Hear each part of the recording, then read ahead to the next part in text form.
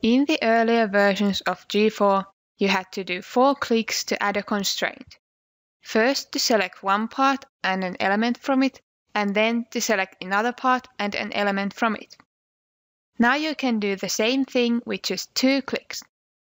First you select a constraint, then the element of the first part, and lastly the element of the second part.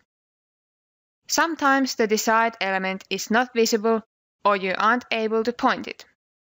If this happens, you can select the two parts in which the elements belong while holding Ctrl button down.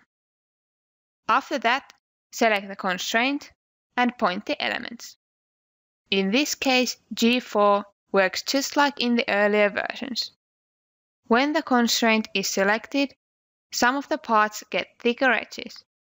This means that those parts are underdefined and they need more constraints. When the part is enough defined, the edges change back to normal. When you hold the cursor over a part, there opens a tip window which contains information about the part. In the lower part of the window, there's information about the part's constraints. Not all parts have to be fully defined. For example, screws can have accepted freedoms.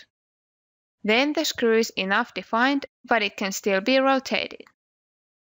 Settings for these new functions can be found from the Preferences menu. Selecting Model Presentation and Draw Edges makes sure that underdefined parts are drawn with thicker edges.